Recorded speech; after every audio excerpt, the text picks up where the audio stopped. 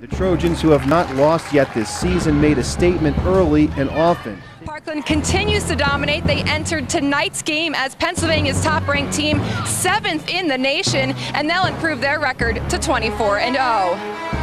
Triple A girls followed with a battle of the unbeatens. A 27 0 Parkland squad was matched up against familiar state tournament foe Hempfield, who held a record of 23 0. Once Parkland found their groove, there was just no stopping them. The Parkland Trojans become the Pennsylvania Triple A state champions. The final score, Parkland 3, Hempfield 1. So this is truly a team, uh, team effort completely from the coaches, the managers, the players. That was a unified group to go against a great Hempfield program and a great team. It feels so great. I can't, I can't even put it into words. Um, finishing my senior year with this type of win, it just feels so amazing. I've wanted this for so long, and I couldn't have asked for a better team to do it with. I mean, we are a family, and we're always going to be a bit, be a family because of moments like this. And Parkland takes home its first trophy since 2011. I want another one, and I know everybody else on the team does too, and we're going to work so hard over the summer and in the spring during open gyms and throughout the season, and I know everybody wants to get back up there on top.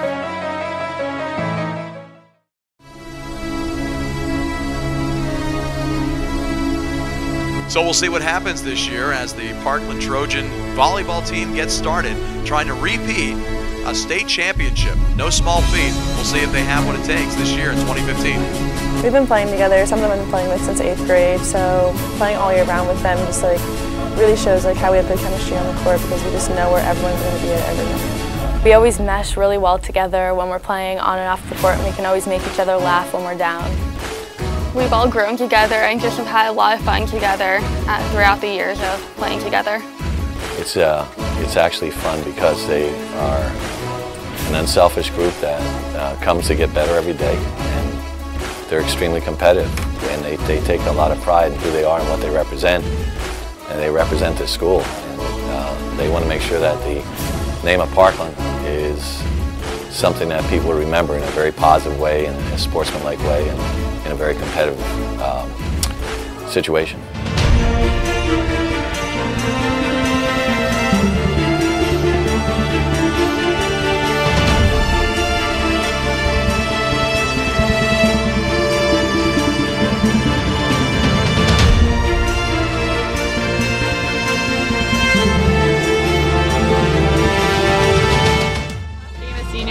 It's the last time we play together, so it's uh, really sad and exciting.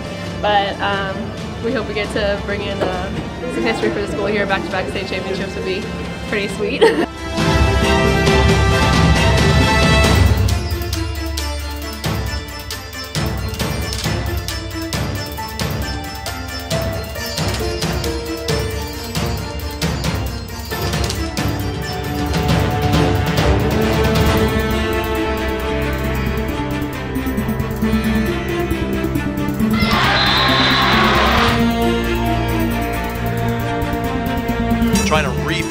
state championship. No easy task for these girls this year.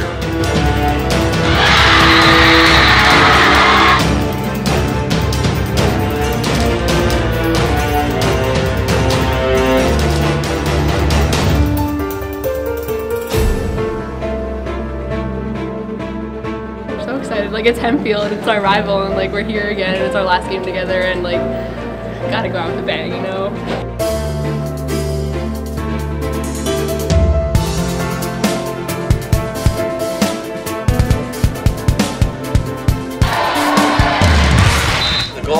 Rungs of a ladder. You got to climb one rung of the ladder at a time, and uh, you establish individual goals to meet.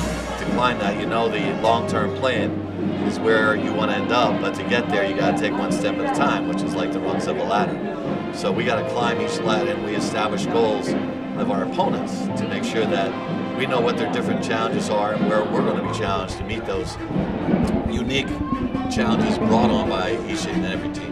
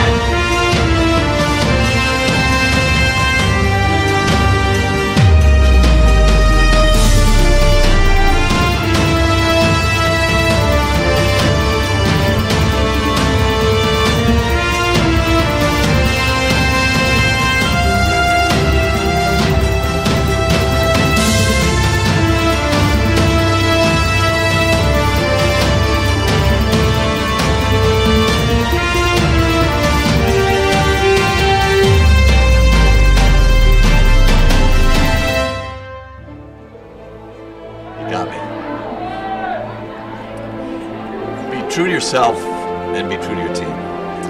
It's a very special opportunity that it, it's so unique because many people don't get this opportunity. So embrace it, embellish it, and enjoy it. Don't fear it. Um, it's just an outstanding opportunity to do something that you can take with you for the rest of your life.